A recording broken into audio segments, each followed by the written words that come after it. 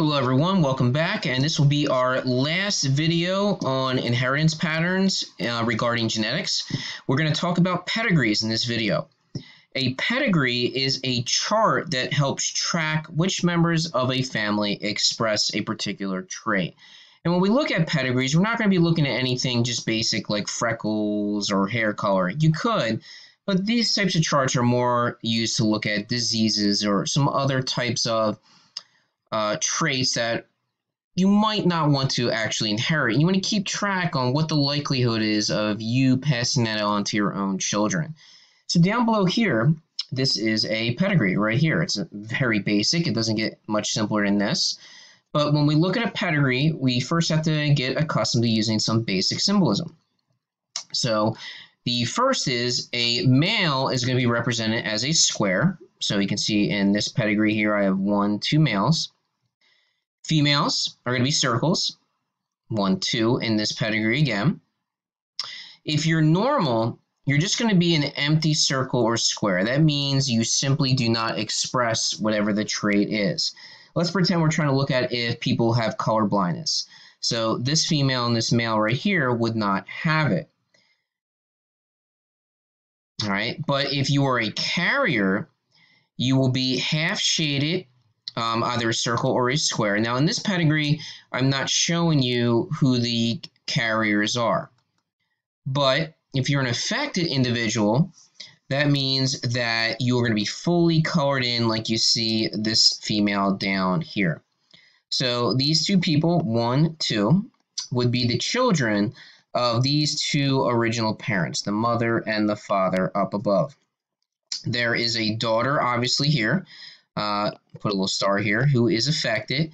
So that means, depending on what type of trait this is, she either got it from both parents or she only inherited it from one. So it's all a matter of is this a sex-linked trait or an autosomal trait that we're looking at. And that's going to be one of the really the hardest things that we have to deal with when working with pedigrees. But I'm going to show you how to work through that. So again, males will be squares, females circles. If you're affected, you're fully colored in. If you're normal, you're not colored in. If you are a carrier, which you'll hardly ever see, I'm going to want you to figure out who the carriers are. They would be only half shaded. All right, if an individual couple is married or have a relationship together, uh, you will see a horizontal line connect them. So right here would be a marriage. Doesn't necessarily have to be a marriage, but most times that is what that symbolism represents. But it could be two individuals who just happen to be live-in partners and they also still have two children. Some other symbolism you might see, but um, in any type of pedigree, you're probably not going to see those in any of the ones I show you today, but you might see a diamond pattern that is a person whose sex is not known. Uh, that simply means they probably died and there is no record of what their sex was. This could have been 100 years ago. You know, your great, great, great grandparents um, on record had a child that was stillborn, but it was not recorded if it was a boy or a girl. Again, here is a marriage. Two lines connecting each other would be a consanguineous marriage. That means incest. Again, a vertical line coming off a marriage line represents children here, this couple here have had one, two children. And then here, you have fraternal twins or non-identical twins. See how they branch off separately at the same point? That means that a twin set of a both a girl and a boy were born at the same time. If they're identical twins, there's going to be a hard, there's going to be a vertical line that comes down first before a splitting into two of the same exact sex.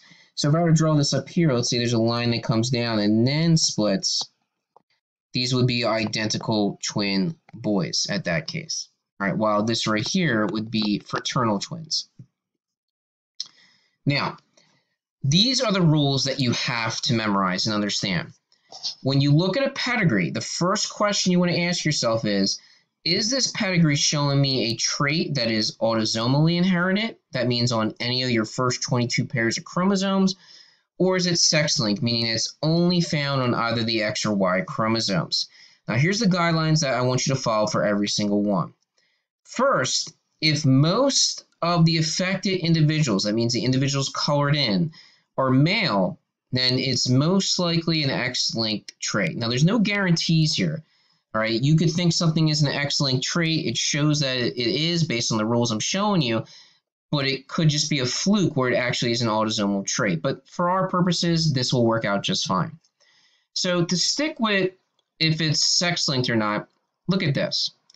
If it's at least three males to one female ratio affected, call it sex linked. Or if it's all males affected, it's sex linked. Because remember, males are affected more often than females because they only have one X chromosome when it's a recessive trait.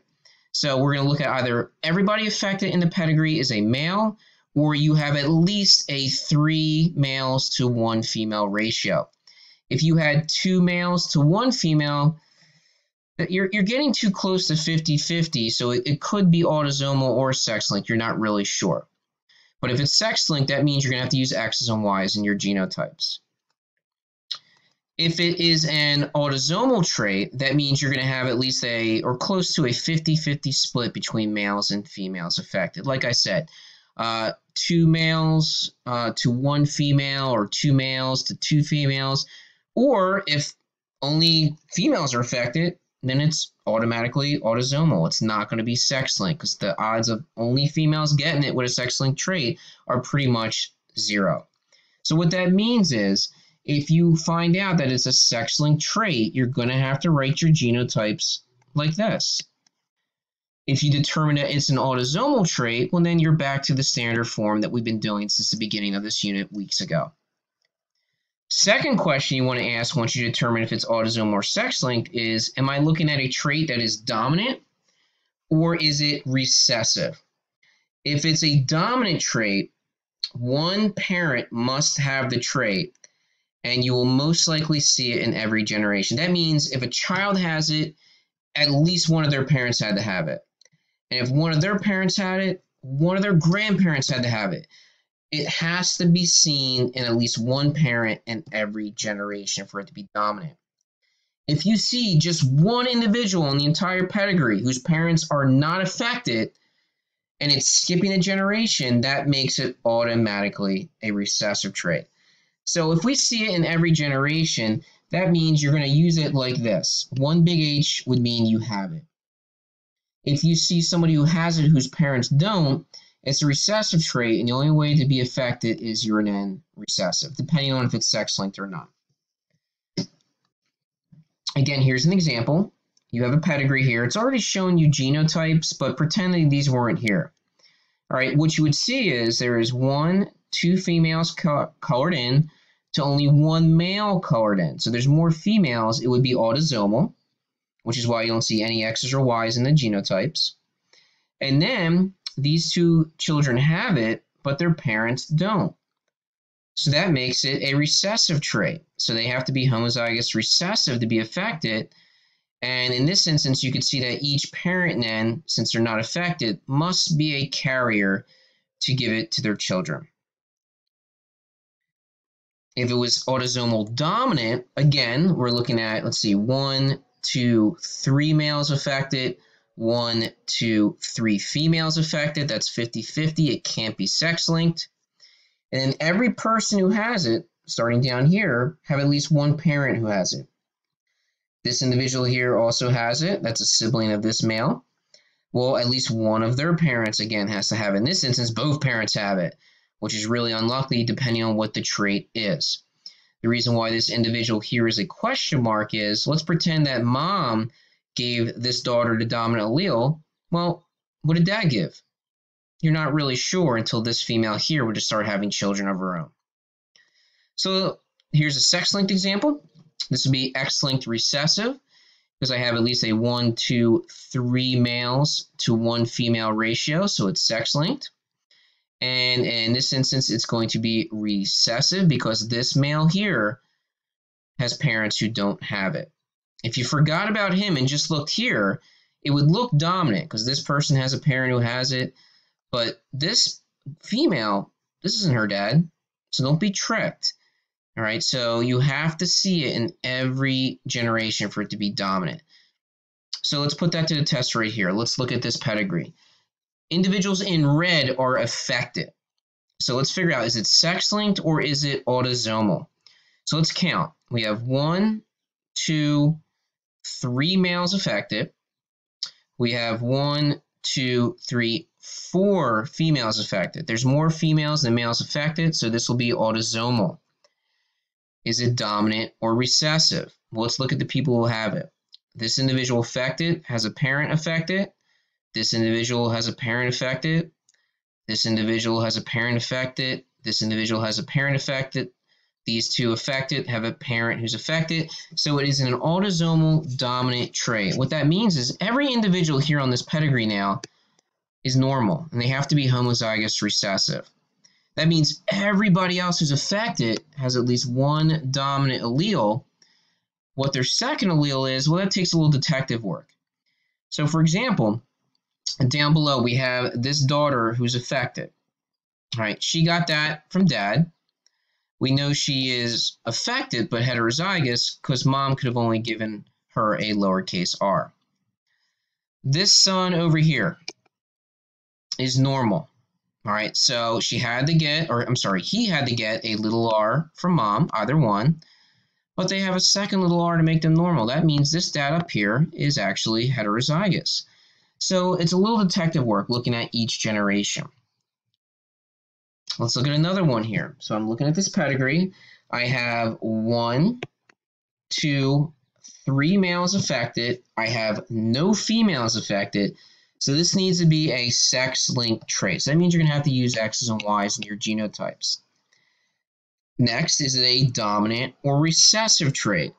Well, individual 4 is affected, but their parents are not. So automatically it's recessive. So that means for a male to be affected, I'll use R's again, they would have to be this. For a female to be affected, she would have to be this. So you could take the time and go through and figure out what all the genotypes of these individuals are. So for example, since we know it's sex-linked recessive, any male who's not colored in is automatically this genotype, every single one. Any male who is affected has to be recessive. So the tough part is going to be the females. Every female here is not affected, which means they are at least X big R X, well, I'm not too sure what the other one is. I have to look at their children. Well, she has a son who's affected. All right. Males always will make the, their daughters affected or carriers. It's the females who give it to their sons. So if she has a son who's affected, that means she had to be a carrier or heterozygous. Now, the trick here is the females know that they are a carrier they have to have at least one son who's affected. If they don't, don't automatically assume that they are this genotype. Excuse me. So, for example, this female down here, she's marrying into the family. I know she's normal, but I don't know what her second allele is. I might want to jump the gun and think she's this, but there's no guarantees. So, I have to look at her children. If she has any males affected, so here's her children. If she had any males affected, there would be one male colored in, and I would know she's a carrier. That's not the case. If she were to have any daughters affected, well, she would have had to have given at least one of the X's to her children, so then she would also be a carrier. Excuse me again. All right, so here's the rule. The only way to know if a female is fully homozygous dominant is if she has four or more normal boys. Otherwise, if she doesn't, like in this case, you're going to put a big fat question mark for her second allele. All right, so it's going to take a little work, it's going to take a little practice, but do me a favor. If you have any questions, reach out to me as you work through your problems this week, and I'll get back to you as soon as I can. Thank you very much.